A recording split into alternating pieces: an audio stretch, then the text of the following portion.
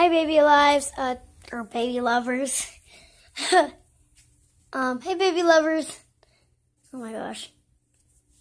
Hey, baby lovers. Today, um, the nursery got a bunch bigger. I don't know why, but today, um, Janet is actually a new baby, and she looks old, but she's not.